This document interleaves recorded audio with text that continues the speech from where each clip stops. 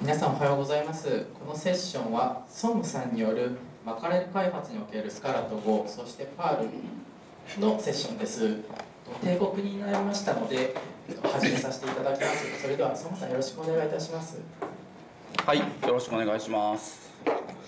えっ、とマカレル開発におけるスカラと Go そしてパールというタイトルで発表させていただきます。たくさんたくさん入っていただいてありがとうございます。えっ、とソンムーって言います、えーこういうブログ活動とかなどをしていて Twitter のアイコンとかこれですね。でえっ、とまあ趣味は C パナイズで C パンにたくさんモジュールを上げることなんですけど今は、えー、ハテナ東京オフィスでチーフエンジニアっていうのをやってまして、えーマカレルの開発ディレクターをしています。はい。でまあ趣味は C パナイズで C パンに上げたモジュールは60個以上ぐらいあるんですけどありますと。まあでも宮川さんとか200とか上げてて、まあ、格が違うって感じなんですけど。まあでまあなんていうか僕はアプリケーションエンジニアで、まあ、データストアの気持ちを考えながらコードを書くのが好きです。まあもともとなんかソーシャルゲームとかの開発をしてたので割とその辺りのなんか気にしながらコードを書くみたいなことがやってました。でまあファールが好きです。はい。でえっと35歳にこの間なったんですけどなんとその日に子供が生まれるっていうミラクルが起きましてまあなんか。ありがとうございます。まあでもなんかあの子供のことを見てプログラマーは定年しろっていうことではないと思うのでまああの定年はしません。はい。で、えっと、ベストスピーカー賞の、えーまあ、ちょっと部屋狭いんで不利だと思うんですけどぜひ何卒、えー投票お願いします。なんかこれ今日今年行ってる人少ないのでなんか行っていいのかなって気がするんですけどまあ行っておきます。はい。で今日お話しすることはえーっとあ結構早いペースで進んでるな。えーっとマカレルとは何かっていう話とマカレル開発における言語多様性について。でその中で使っているスカラーであるとか Go であるとか JavaScript、Perl、Ruby といったそういったもののそれぞれの事例についてお話ししようかなと思ってます。でまあマカレルなんですけどマカレルご存知の方どれぐらいいらっしゃいますか？おおほぼ全員ありがとうございます。なんか昨日あの LT とかでもパピックスがやたら押してくれてなんか別にお金渡したりしてないんで本当ですよ。はい。なんかはい。ありがたいなって思います。でまあこういうようなあのモニタリング監視ツールなんですけどえー、まあえー、まあハテナは結構ずっと十何年間ウェブサービスやってきてるのでずあのまあナギオスとかも使ってるんですけどあのハテナの社内ツールだっていうのがもともと前身になっています。でまあそれを新しく、えー、SARS にする上で作り直したっていうものがマカレルで、えーまあ、基本的にやることはもうあの、まあ、管理対象のサーバーから定期的にあの CPU 使用率とかロードアベレージとかそういうのを持ってきてそれをまあモニタリングしてでそれがまああの敷地を超えてたらアラート通知するとかそれとかグラフによる可視化をするとか、まあ、そういうツールになっています。でまあ結構 ZABIX とかそういうの立てるの大変だと思うんですけどそういうのを使わなくてもまああのすぐにまあ、利用開始できるというような形になっていて、まあ、こういう感じで可視化ができるようになってます。これは何だろう？これはロードアベレージ。な、まあの、えー、と例の図ですね、まあ、こういう感じでアプリケーションサーバーがまあこういうふうにあってこういうふうになってるみたいなのを見れるって感じですね。はい。でアラートとかも起きると大体どういう感じになるかっていうのがあこれちょっとあの画面が古い古いっていうか最近もっとかっこよくなったんですけどまああのこの辺でこう急になんだこれはメモリーがガーって盛り上がってこの辺でまあこの辺でアラートが飛んで、まあ、メールが飛んだりとか Slack に通知されたりとかしてるんですけどまあこういうふうにまあ時系列でアラートの様子が分かってまあ今アラートが起きてますよみたいなのが分かったりするですね。で最近外形監視機能っていうのができまして、まあ、これはあの、まあ、すごいシンプルな機能なんですけど URL を定期的に外部からクローリングして監視するっていうまあまあ、ピングドームとかそういうサービスあると思うんですけどそういうのと同じような感じで今日後でこれのアーキテクチャの話とかもしようかなと思っています。で開発体制は多分エンジニアが大体6人ぐらいでデザイナー1人インフラ1人でスクラムを採用して2週間スプリントで回しています。で毎週リリースをでもまあ一応していて一応何らかの新機能を毎週出すっていうことをずっとやっています。で去年の9月17日に正式リリースをしたのでそれからまあもうちょっとで1周年という感じですね。はい。でえっ、とアーキテクチャなんですけどまあこう上にまあお客さんのサーバーがあってそれにあのこう丸いやつはエージェントなんですけどエージェントっていう Go で書かれたエージェントがいてそれが、えーまあメトリックをマカレルのサーバーに投稿してくる。ようになってる感じですねでそれをユーザーさんが、まあ、管理画面を見てこうなんか今どうなってんだろうって見たりとか、まあ、API 呼び出していろいろ設定をしたりとか、まあ、グラフとかアラートの通知を受け取ったりするとそういうような感じですね。はいまあ、結構あの API でいろんなものを操作できるようになっているので例えば最近だと監視設定とかも API で操作できるようになったので監視の敷地設定とかもなんか Git で管理するみたいなことも最近はできるような感じになってます。でまあ今はオンプレで運用していてで、えーとまあ、俗に言うプッシュ型プル型っていうそういう監視のがあると思うんですけど、まあ、あのサービスの特性上、まあ、お客さんのサーバーにエージェントを入れてもらってマカレルの方に定期的に HTTP の API でデータを送ってもらうというような、えー、アーキテクチャになってます。で、まあ、オンプレで構築しているので AWS が落ちてても安心って安心ではないですね皆さんは。はい。でまあちゃんとはい、はい、です。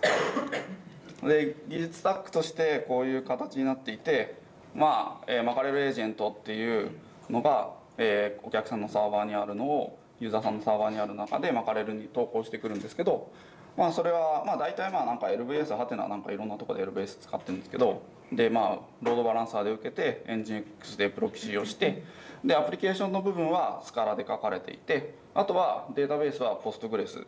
で、えー、とキャッシュにレディスを一部使っているのとあと TSDB っていうのはタイムシリーズデータベースの略なんですけど時系列データベースにグラファイトっていうものを使っています。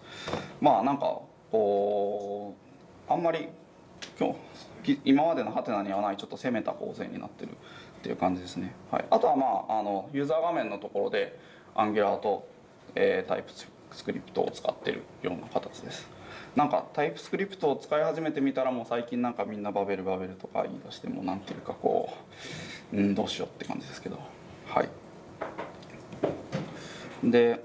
え、ー、とまあそういう感じで今見たように基本的にはメインのところではスカラと Go みたいなのを使っているんですけどえっと、エージェント左側のエージェントが Go で書かれていてメインのアプリケーションは Scala で書かれてるというような形です。でただまあその他にもいろんな言語をいろんなところで使っていて、まあ、Scala と Go とあとまあ JavaScript とか当たり前だと思うんですけど、まあ、Perl とか Ruby とか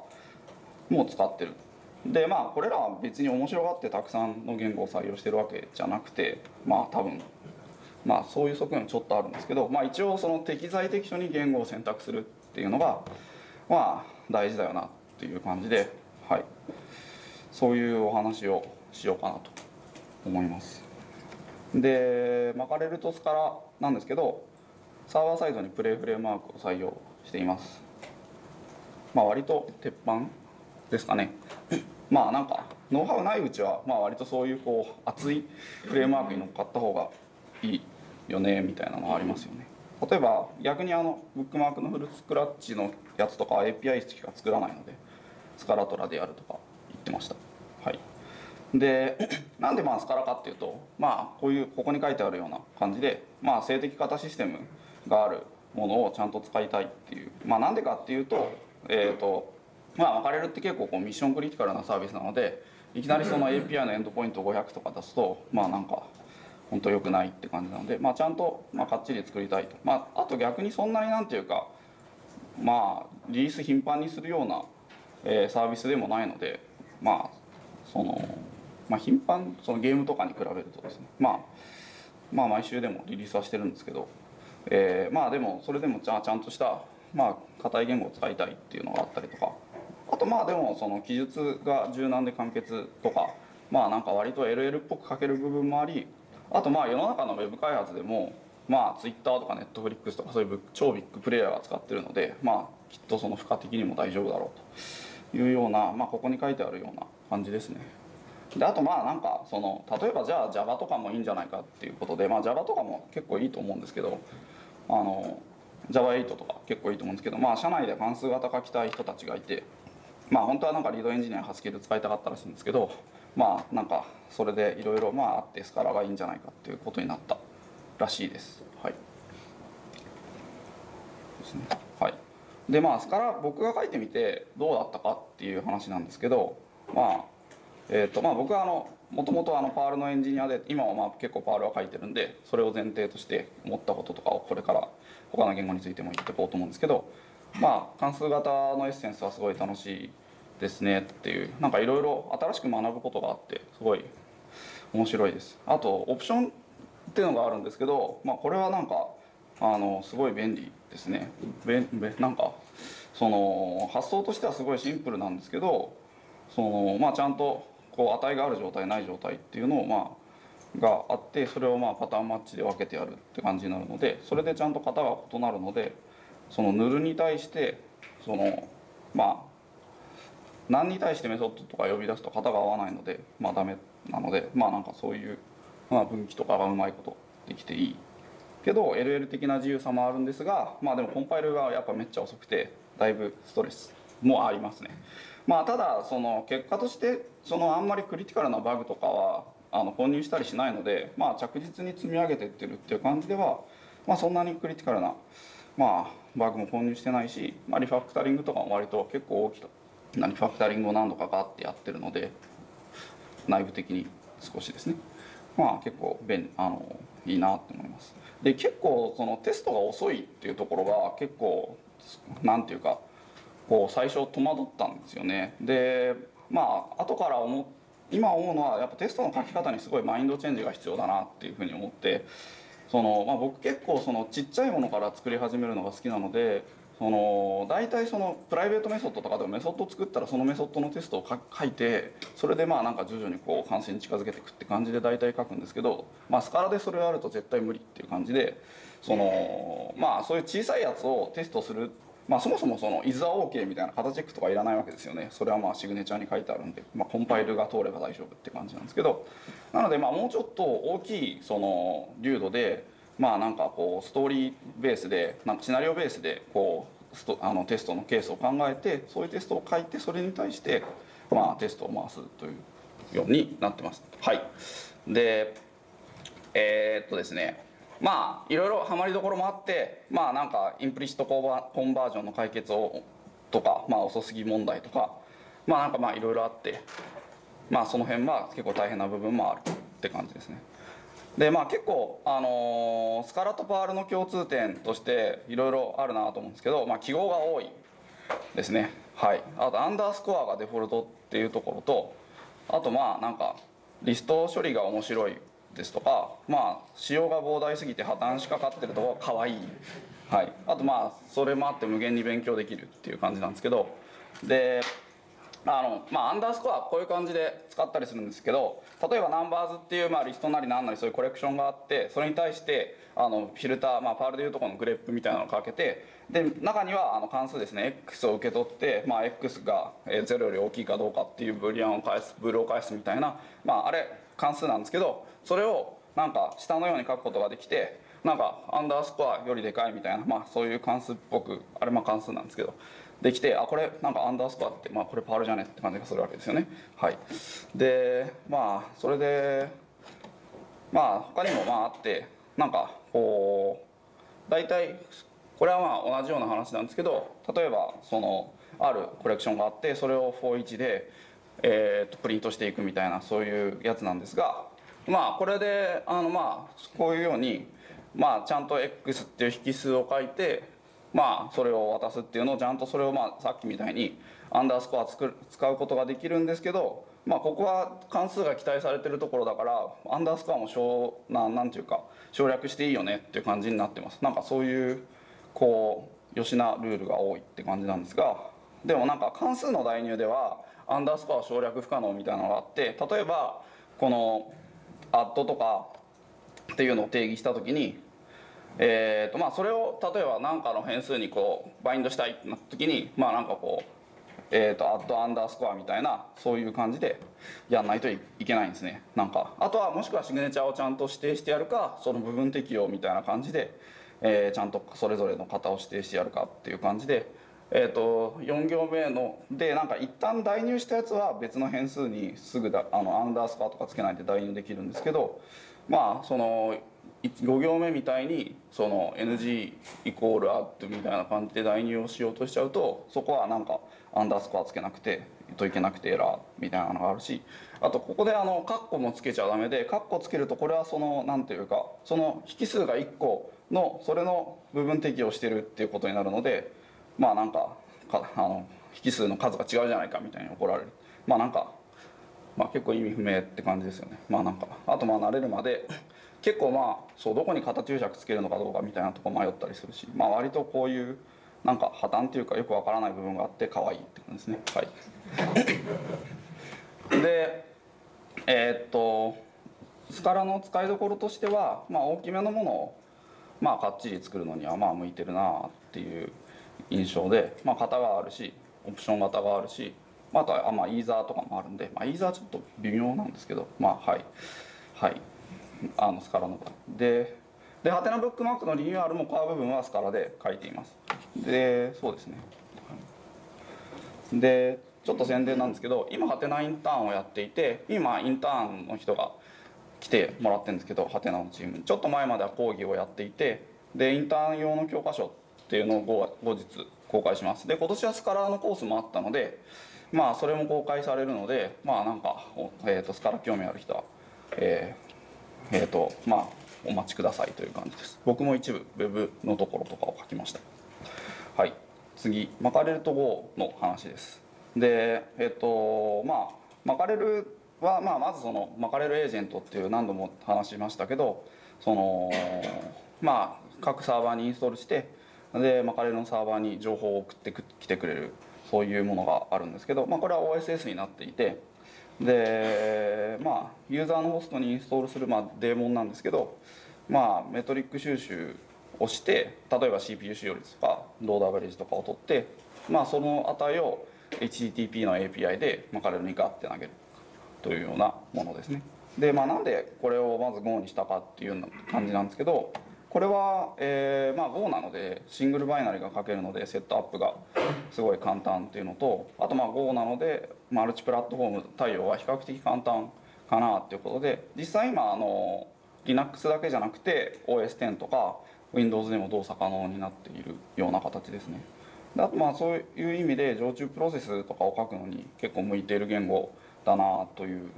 のですね。まあ理由としてはやっぱりそのあんまりそのフットプリントが小さくて監視対象のサーバーのパフォーマンスに影響をあんま及ばさないみたいなのがあります。実際去年のイスコンでインストールしてて、えーと、ベンチマーク回したりしてたんですけど全然スコアに影響しませんでした。まあこれはあの止め忘れなんですけどはい、はい、でえー、っとそうですね。なんかあのクラッシュプランっていうそのバックアップサービスがあるんですけどなんかそれのエージェントが Java で書かれていてなんか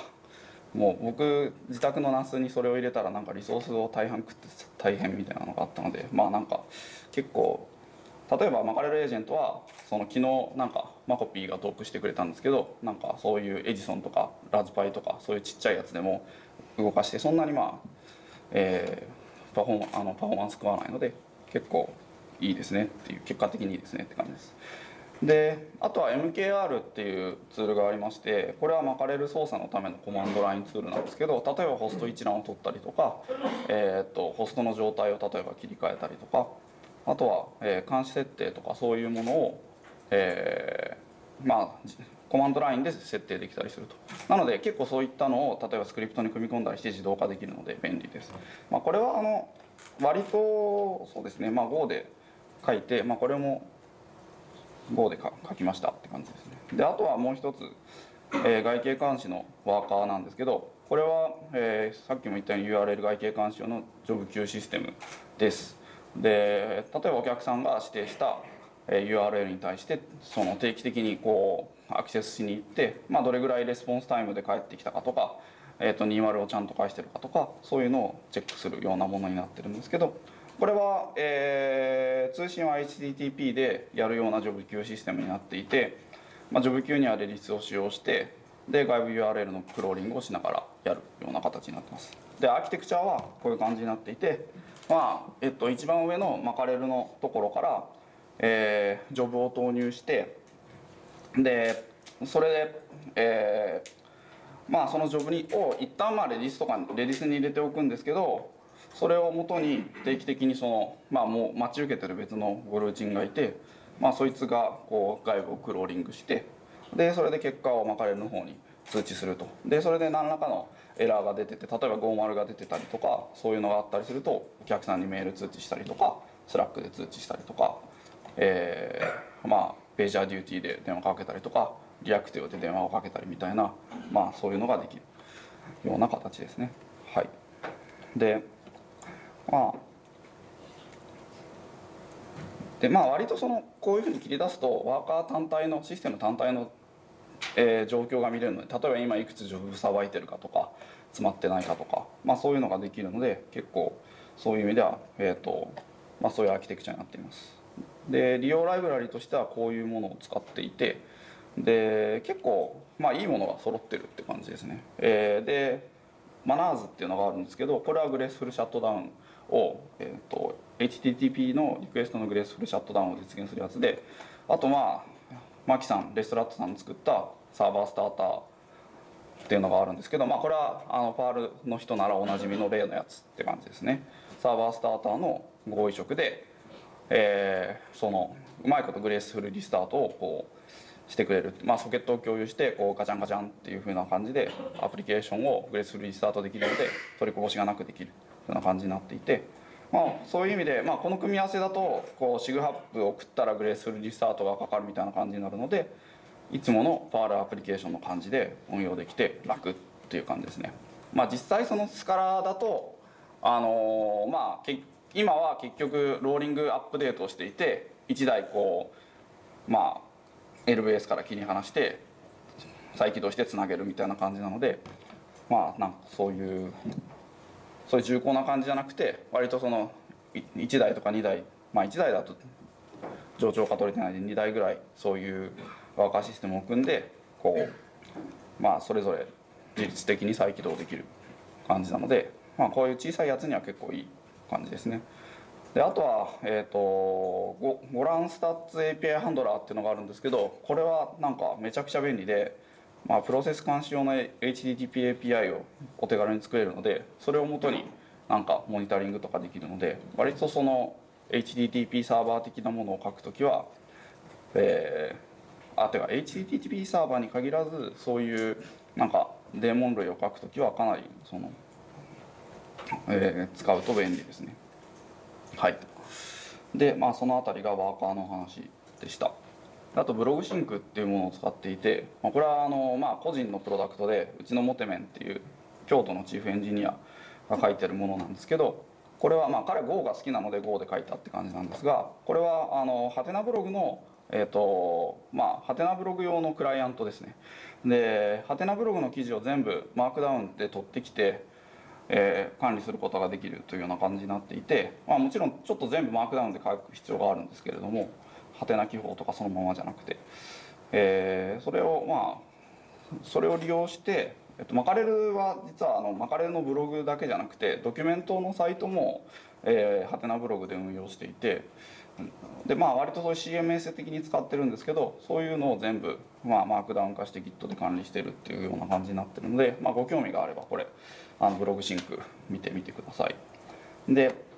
まあそういうのをやる中で結構僕もいろんなモジュールみたいなのを書いたんですけど割とそのこうパールのモジュールみたいなのを移植するのに相性が良かったなというふうに思っていて。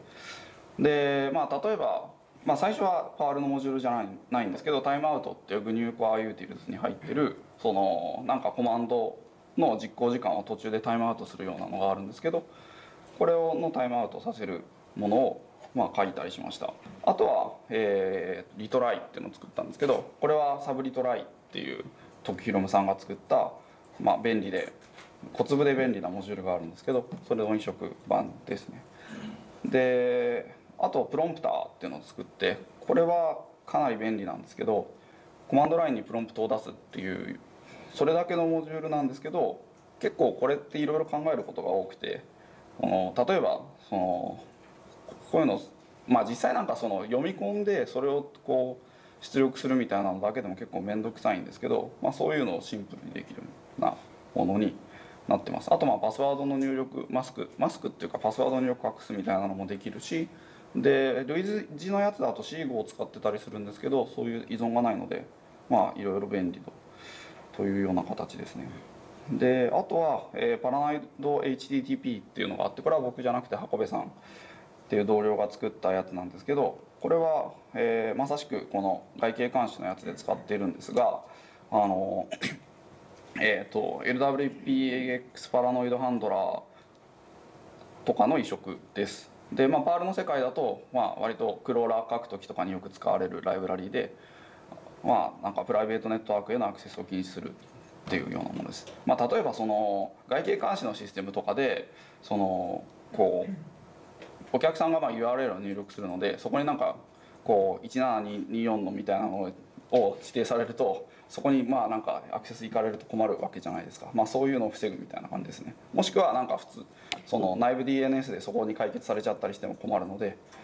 そういうのができてまあなんか割とこうパール的なものをいろいろ移植できて面白いって感じです。で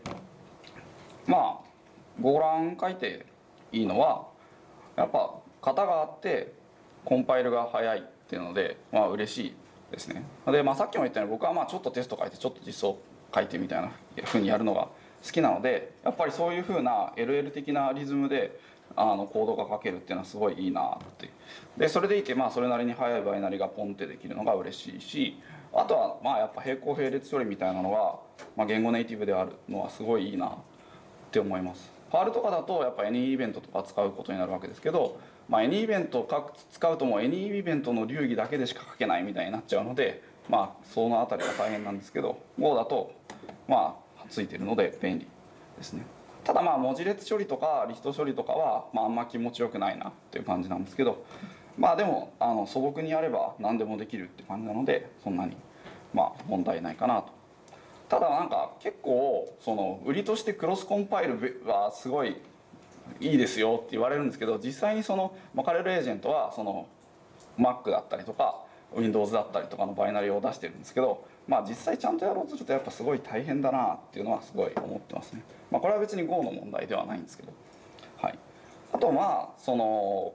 レンジとして書き捨てとかはちょっと難しいと思っていて、まあ、コンパイルが必要っていうのもあるんですけどやっぱりちゃんとそのリポジトリを作ってからその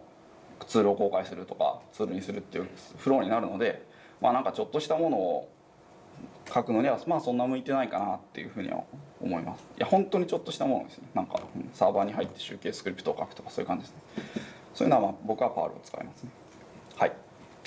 でまあクロスコンパイル問題は結構大変ででまあ Windows 対応は大変なんですけど結構マッツンさんがなぜか素早くパッチを送ってきてくれるような感じで。でまあクロスコンパイルが大変っていうかパッケージングがすごい大変で今あの Dev とか RPM パッケージとかあと MSI っていう Windows のインストーラーも作ってるのでまあ結構その辺が大変です、えー、でで YAM とか apt への登録とか Docker を使ったりとかまあそういうのをしたりしています。この辺の話は後でちょっとどういうふうにやってるかっていう話をします。はい。でまあ Golang と Perl の似てるとこは結構素朴なところが似てるなと思っていてまあ素朴パールはそんな素朴じゃないんですけど まあ最近の、まあ、日本のパール界隈 とか結構素朴に書く文化書くことが推奨される文化だと思っていてまあそういう感じで書けるのですごいいいな。しまあ Go だとそういう素朴さを強制されるのでまあそういうとこがいい。あと実用言語として割り切ってるなっていうところがまあそのパールも多分もともと実用言語として作られてきた言語だと思うのでなんかその俺の考えた最強のみたいなそういうノリじゃないから逆にまあまあ使っててまあいいですよねっていう。あとまあその値に対してタイプを作れるのが結構ブレスっぽいですね。そのななんていうかデータ構造ありきでそれに対してなんか自分独自の型を作れるとか。まあテストを書くリズムが LL っぽくていいとかまあ小さいものを組み合わせる思想であるとかコマンドラインツールを書くのに向いてるし、まあ、小さいものからそこそこ大きいものまで作れるっていうところが結構共通点だなと思ってます。まあ、例えば値に対してタイプ作れるっていうのは例えばその float に対して型をつけてそいつに対してそういうメソッドを定義したりとかそういうことができるわけですね例えばこれは float 64なんだけどそれをまああの Celsius と Fahrenheit っていう型にして変換のメソッドを作るみたいなそういう形です。まあ大体こういうの Golang だと structに対してタイプをつけることが多いんですけどこういうこともできるのは結構ブレスっぽくて良い。はい。あとはその継承よりコンポジションみたいな話があると思うんですけどまあ小さいものを組み合わせる。絶景にを強制されるしインターフェースを組み合わせるみたいなところをやっていくと結構面白い。で、まあ、実際 Go の使いどころとしてはコマンドラインツールもそうですし、まあ、マイクロサービス、まあ、バズワード化しててどうなのかって話があるんですけど、まあ、そういうアーキテクチャを実現するコンポーネントにはすごい向いてるなと思っています。でミドルウェアとかサブシステムとか機能の少ない API サーバーですね。でまあそれが、まあえー、と外形監視のシステムとかもそういうので作ったという形です。で大きすぎるものは、まあ、Go の思想的にはマッチしてなくて小さいこうデーモンをたくさん立ててそれを組み合わせてでかいシステムを作るみたいなそういう思想だと思うので、まあ、向いてないんだろうなというふうに思います。はい。でマカレルにおける、まあ、JavaScript なんですけどまあこれはまあこういう感じですって感じであんま特筆すべきことはない。であとまあマカレルにおけるハスケルって話なんですけど、まあ、あの今日聞きに来てくれてる123っていう、まあ、なんか新卒のエンジニアがいきなりハスケルで JavaScript のプロファイラーを書き出してで 1, 1日で書いてで実で劇的それでなんかマカレーのグラフとかが劇的に速くなったんですけどまあそういうこともありましたっていう感じでこれ本当にすごかったっていう感じです。これあのこの記事もな多分700ブグマぐらいついてるのでそのまあ興味あれば後で資料公開するので見てみてください。はい。でマカレーにおけるパールっていう、はい、本題ですね、まあ、本題でもないんですが本題ぐらいの気持ちです。はい。で、えー、と事例としてはマカレルエージェントのリリースの自動化っていうのを、まあ、僕が結構パールで書いたんですけど、まあ、どういうことになってるかっていうとまあこうこういうピタゴラ装置みたいな感じになってるんですがプルリクエストを自動で作成してプルリクエストをレビュー後マージボタンを押したらTravis がそのリポジトリに対してタグを自動で打つようになっていてタグを打たれたコミットに対して Travis がビルド成果をリリースみたいになってるわけですね。でえっ、とまあこれ左上から見ていくと開発者がまあ手元で、えー、なんかリリースしますよっていうスクリプトを叩くんですけど make release とか Makefile のやつ打つんですけどまあ中身は Perl スクリプトになっていてそれをすると何やるかっていうと,、えー、とチェンジログを拾ってくるそれはなんかプルリクエストのマージ履歴からチェンジログを自動生成してであとはバージョンアップをしてえー、そうするとするって形ですね。でそのプルリクエストに対してそのレビューとかマージをする。ででマージをするとそのマージコミットに対して、まあ、テストが走るわけなんですけどそれでテストが走ってトラビスの方でテストがあって走ってそれで、えーと、ちゃんと成功したら、えーと、タグが打たれる。でトラビスがなんと Git プッシュをするっていう面白設計になっていてで Git プッシュをしたら今度はタグを打たれたコミットに対しそのコミットに対してまたそのトラビスが動き出すわけですね。でそれでタグ打たれたやつはちゃんとそのバイナリをビルドするようになってるのでそこで RPM とか、えー、とデビアンパッケージとかバイナリを作って、えー、と GitHub のリリースのとこに置いてあるみたいになっています。であと Windows の MSI も作んないといけないのでそれは AppWare っていうそういうサービスを使っていてでそいつにビルドさせて、えー、GitHub のリリースの一覧のとこに置くようになっていてでそれを、まあ、あの開発者だったりユーザーさんがダウンロードできるようになってるような形ですね。まあアプトとかヤムとかはまた別に S3 で上げたりで登録したりとかしてるんですけどそこはちょっと今回の話とはまた別のところです。はい。でこの辺りの自動化周りはまあパールで書いたんですね。で、えー、まあ割とそのリポジトリに入れてあるんですけどマカレルエージェントのリポジトリに入ってるんですけどこの辺りのものを書きました。でリリースエンジニアリング用のやつとあとオートタグっていうタグをマージコミットにタグを打ってくれるっていうトラビスが動かすスクリプトです。でなんかこういう自動化機構って負債になりやすいと思うんですね実はでまあよくあると思うんですけど肥大化する独自シェルスクリプトであるとかもうレイクファイルとかダイクファイルとかメイクファイルがもうなんか何百行とか言っててそれなんかどう何やってるのかよく分かんないしこのタスク使ってんのかとかもう本当メンテ不能になってもうなんか困ることって多いと思うんですよ。でそれどうやってテストするのみたいな話があると思うんですね。でまあじゃあちょっと動かしてみてくださいみたいな。いやそれは困るみたいなのはありますよね。でまあなのでそのあんまりその例えばレイクファイルとかダイクファイルとかメイクファイルとかそういうのを使うにしてもそれ自体を行数を増やすとちょっとあんま嬉しくないのでちゃんとそれそこから叩くスクリプトなりそういうものを用意してそいつをちゃんとテストしてやるっていうそういうあのアプローチが大切だと思います。で、えー、まあそういう中で Perl だとそのツールをテストするっていうことができるんですけど例えばさっきのリリースエンジニアリングのえー、スクリプトだと、えっと、 Perl から直接実行すると普通に実行されます。ただ prove っていうそのテストを回すコマンドがあるんですけどそいつ経由で実行するとなんとテストが動く。というような形になっていて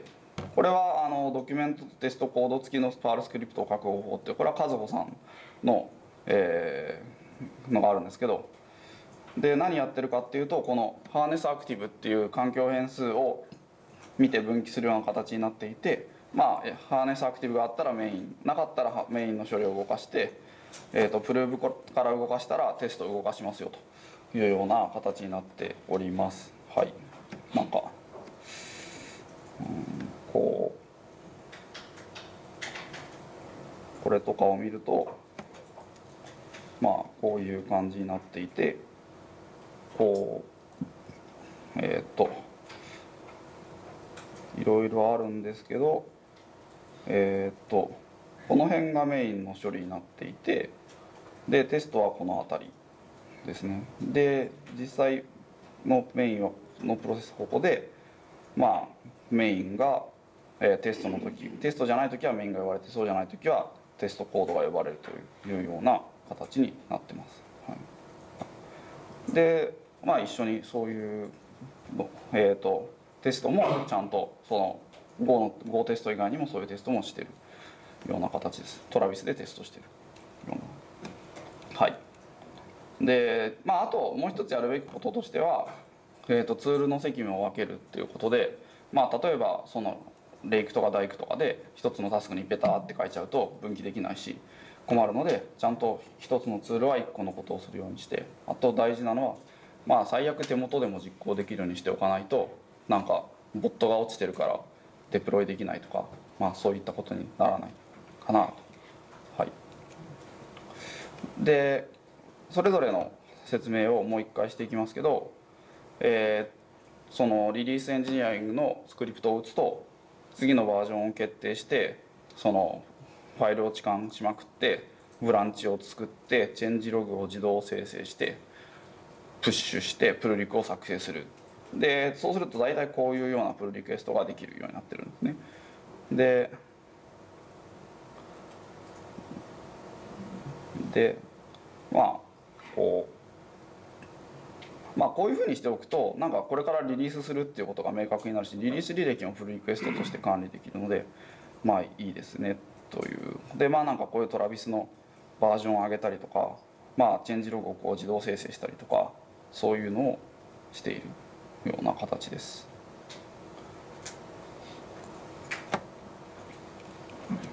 で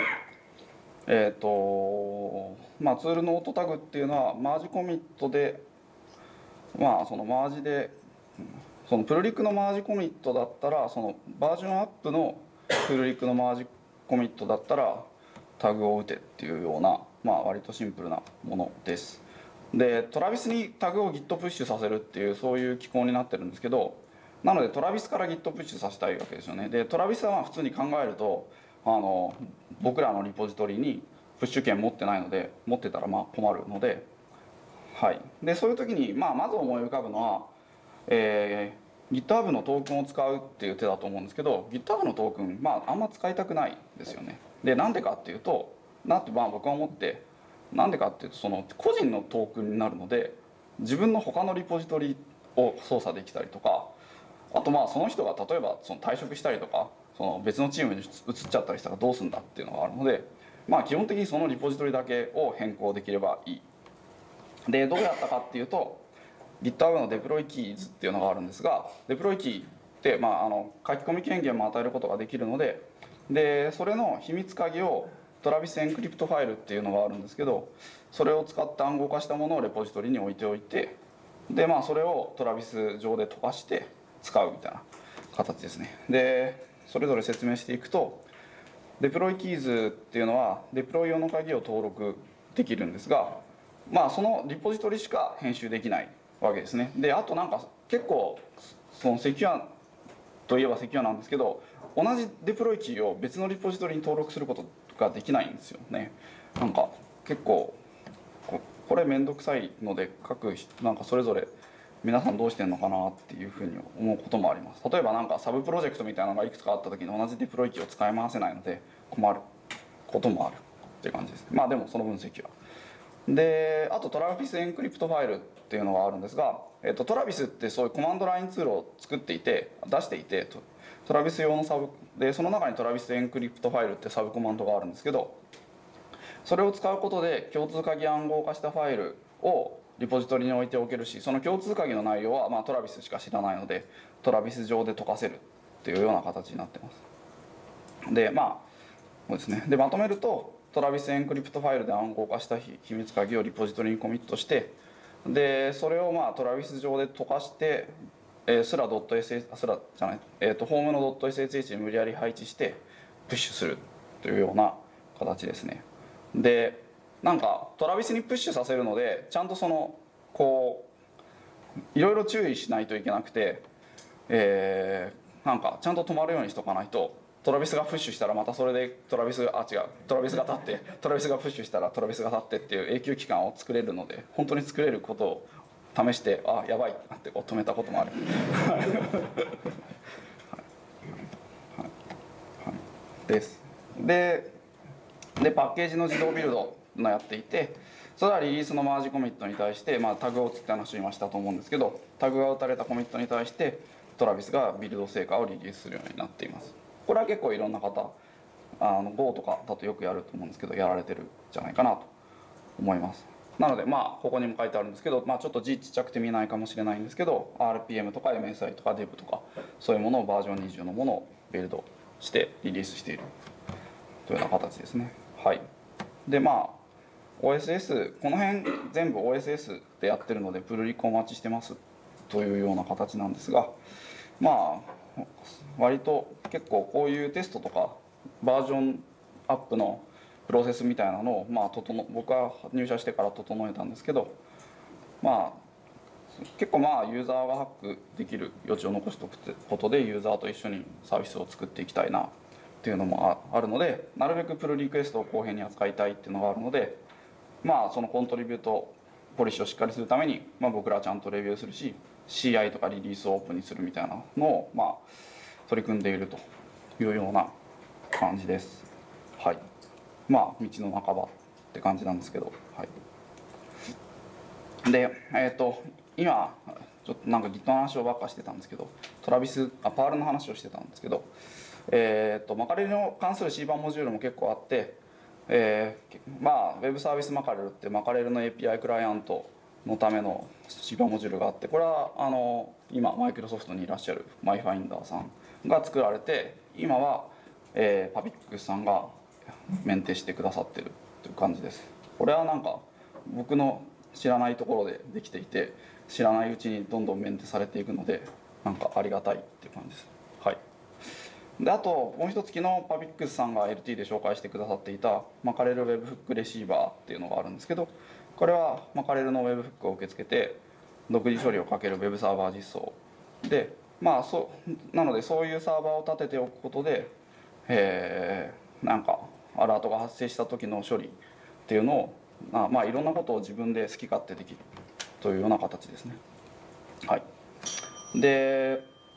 R の使いどころとしてはそういう、まあ、今見たような結構プロジェクトの渋い脇役としても生きるなと思っていて、まあ、大体どこでも入ってるし、まあ、僕はその、まあ、ワンライナーとかそれなりに書くのが好きなのでそのベターシェルスクリプトみたいなのでも使いやすいと思ってますでなんかオークとかセドとか僕使うまあなんかそのこうシェル力が足りないので使わないんですけど結構そのまあコマンドラインの体系が違ったりするので困るじゃないですか。で特に Mac とかで開発してるとその実は Linux のやつとあのオプション違うじゃんみたいなのがよくあるので、まあ、普通にじゃあパール使おうかって感じになる。で今見たように自動化スクリプトにテストを同梱するみたいなこともできるので非常に、まあ、そういうところでも生きるって感じだしまあ普通に検証サーバーをプラックアップでサクッと立てたりとかテストテキスト操作とか検証スクリプトを作ったりとかまあまあなんかこの辺はまあ僕とかがパールに馴染んでるっていうのもあるんですけど結構便利だなと思ってます。あとまあもちろんその最近だと柔らかいアプリケーションサーバーレイヤーとしてっていう、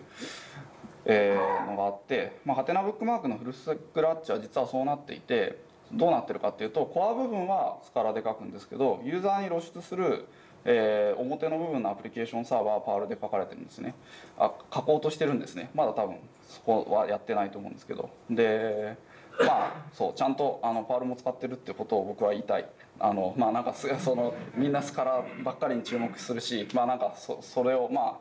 そういう話をえーまあもちろんこちらとしてもスカラ使ってますよっていうのは売りなので言ってるんですけど、まあ、パールももちろん使ってますっていう感じで。まあなんでかっていうとそのマカレでやって分かったんですけどやっぱり全部スカラだと大変なんですよ。やっぱりそのこうビルドしてデプロイするまでまあなんか最速で20分とかそういう世界なのでえーもうなんか例えばそのテンプレートもまあマカレの場合だと TOR っていうのを使っていてコンパイルしないといけないのでなんか文字間違ってたわっていう感じで1文字修正するにしてもなんか修正してからデプロイまで20分みたいな世界なのでまあだいぶしんどいですよね。まあなのでまあなんかあとまあデザイナーさんとかもテンプレートを触るのでもうデザイナーさんがもうなんかちょっとテンプレートいじったらいきなりこう手元でコンパイルガリガリガリガリとか走り出して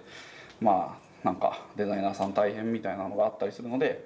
まあなんか割とユーザー向けサービスでリリース頻繁にやるようなそういうものだとその前段にそういう柔らかいアプリケーションサーバーレイヤーとしてまあパールなり何でもいいんですけどそういうのを立てておいてやるのは結構いいだろうなと思っていてブックマークのスクラッチはそういうふうに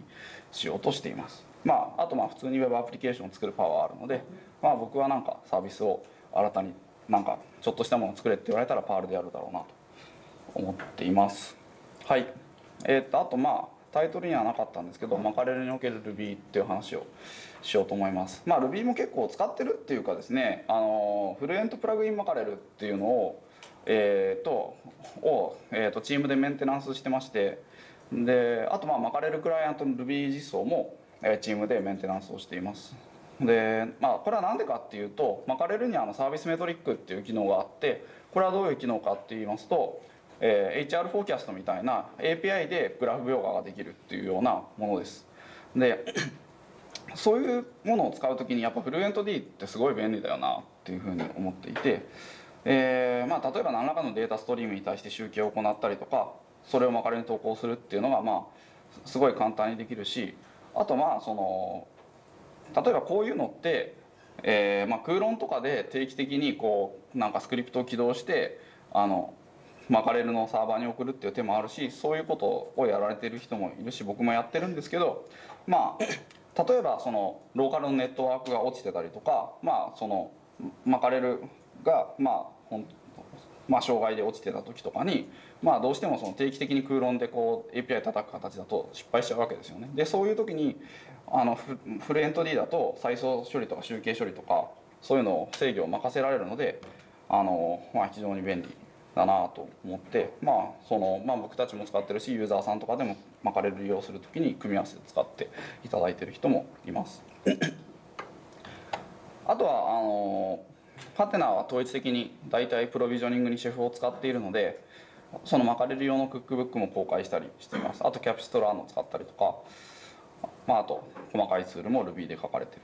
ものもあったりします。なのでまあなんか結構こういうフルエント D とかシェフとかそういうツールすごい便利なのでそういうのに乗っかるためにも Ruby を使うのはありだなと思ってますしあとまあツール作成とかにもできるなと思ってます。まあということで駆け足でなんかガーッと話しましたけどマカレルのプロジェクトにおいて、まあ、複数の言語を適材適所に利用している事例っていうのを紹介しました。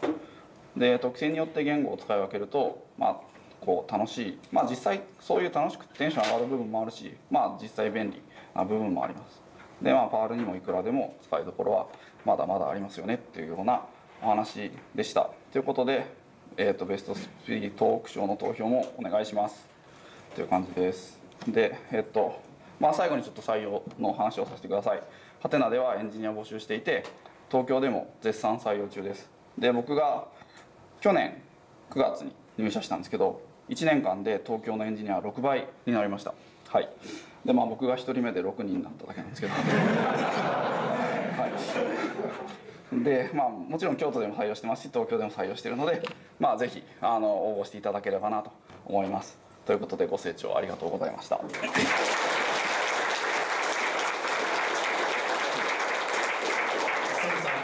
した。それでは Q&A セッションに入りたいと思いますので、えっと、質問のある方挙手をお願いいたします。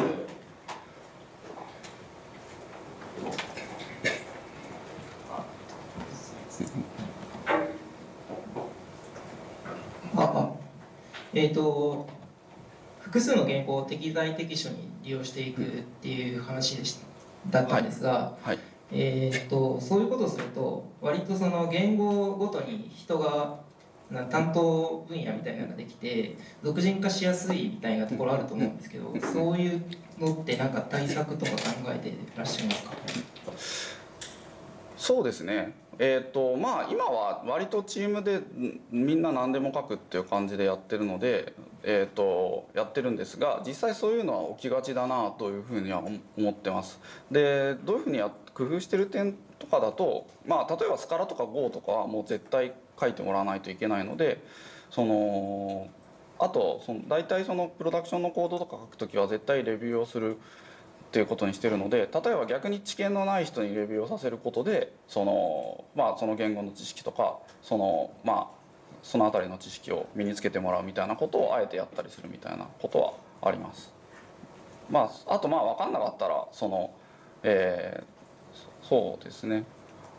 えー、結構まあ勉強してもらったりしてます。はい、ありがとうございます。はい他に質問のある方いらっしゃいますか？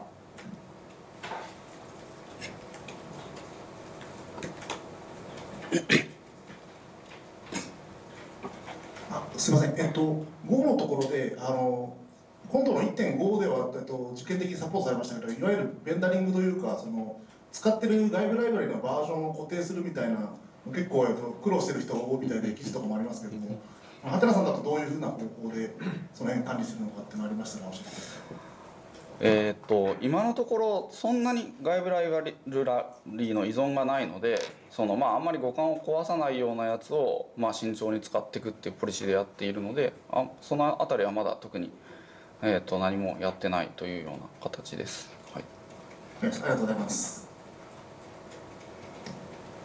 他に質問のある方いらっしゃいますか？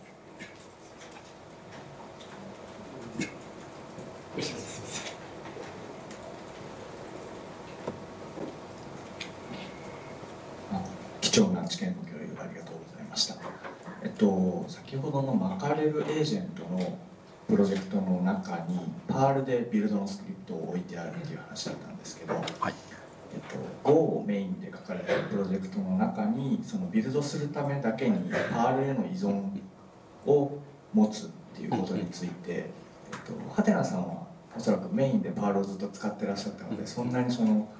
依存は皆さんないと思うんですが、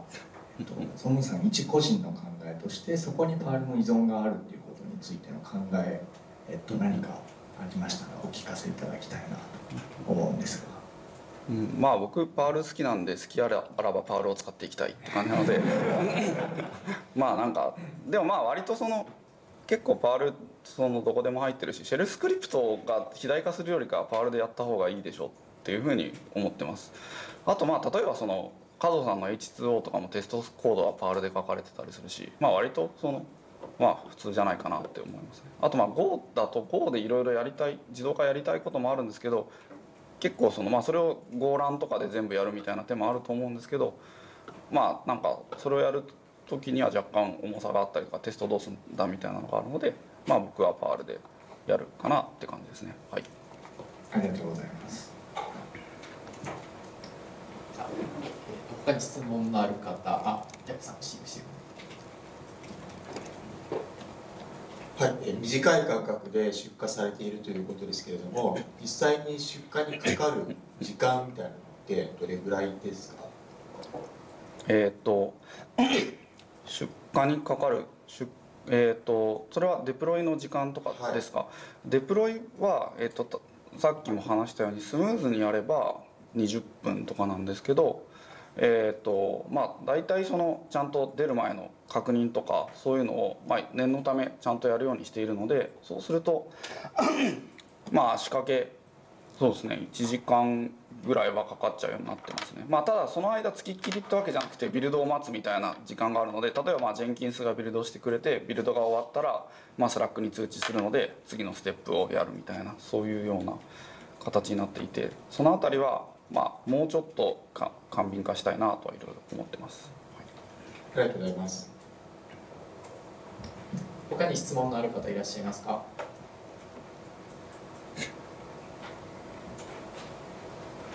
あと5分あるのでまだ大丈夫です。ありました。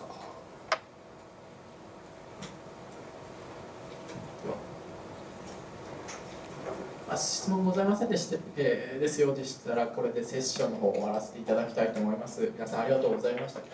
りがとうございました